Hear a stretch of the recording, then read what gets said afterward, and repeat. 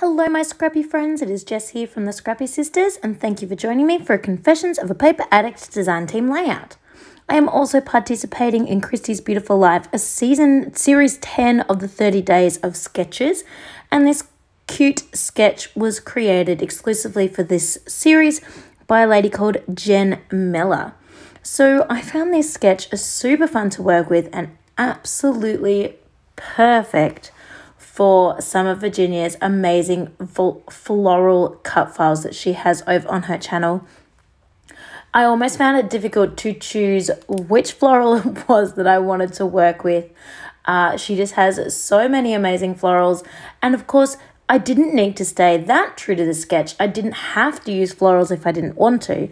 But who could resist with a sketch like this and those gorgeous florals to choose from?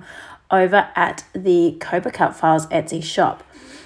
Uh, so, as you can see, I've started off by layering up the different um, corners with those triangles of paper, just like in the sketch. And I am working with the Cocoa Vanilla Studios These Days collection. And then I have got three photos, just like the sketch depicts, uh, and I've cut those into squares. They're about three by three size. And of course, I have got my beautiful cut file. Now, this is one of those amazing cut files over in the cut file shop that is like more than you bargain for. It's called Spring Bunches, and you literally get two clusters of flowers as well as three additional sprigs and some leaves. So you certainly get so much bang for your buck with this cut file. So this one here that I'm sticking on now is the smaller sprig. And I'm gluing that straight onto my page with some wet glue. And I was just holding it down with my glue bottle for a minute there. That's one of the first little extra sprigs that come with it. It's kind of like, you know, the berries on the end, or it could be the buds of the blossoms before they've opened up. Um, which I just think is gorgeous. And you also saw earlier that I attached one of the um, leafy sprigs as well. So that is like half the cut file, but there is still a whole nother half of this cut file to come. So it is amazing. And honestly, you really need to jump over and check out the store because there is so many cut files on offer. Uh, she even down on the right hand side on the website has got like the um, themes, I guess you call them, and you can literally just click on the word floral, and you've got over 109 cut files to choose from. So, so easy to go hunting around to see what you can find. Uh, so now you can see I'm working with the larger floral piece that comes with that cut file.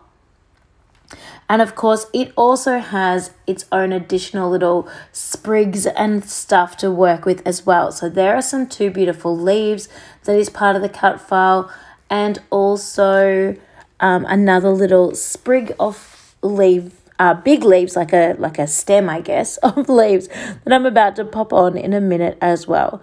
And so what you're essentially getting two floral clusters and four like additional pieces. It's just so cool. Anyway, so, once I have put all that on, I have basically finished this whole layout because this according to the sketch I've basically stayed very very true to that sketch.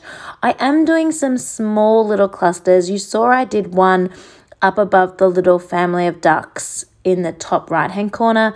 Uh, I am doing another one here down on the bottom right where I'm hand feeding the duck. I just thought that was so cool. For any of you playing along at home, we've got oats. Um, at where we go here, they it's really cool. They actually have a sign up to tell you what you should and should not feed the ducks because a lot of people aren't aware that you actually shouldn't feed them bread. I know that that's super common and what we used to always feed them, but it's actually super bad for them. And yeah, so they've got a whole bunch of other things that they suggest bringing along with you to feed them. And one of those things is oats. So yeah, we brought along our oats.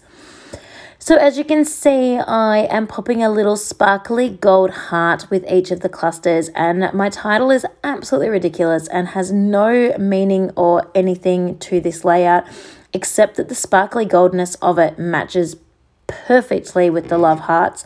They're like identical in coloring. And I have another layout, uh, sorry, another title identical to this one. I must have brought two packets of these thickers still in my cupboard. And I have no idea how I'm ever going to use Be True on two layouts, let alone on one. So I'm just throwing it on this one and rolling with it.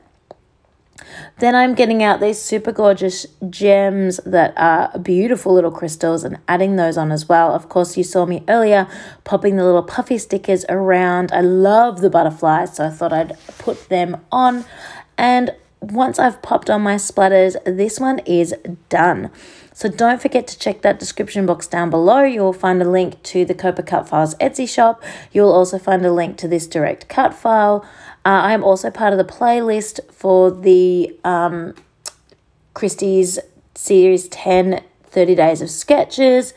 Um, there's just so much going on these days, and I think we're only going to get busier with the end of October basically upon us and then next thing you know you'll blink and silly season will have started so we are definitely getting busier and busier these days I hope you have enjoyed watching this process video and listening to me prattle away. Uh, I really enjoyed creating this layout. This cut file just made it all just come together with the sketch. So, so, so easy.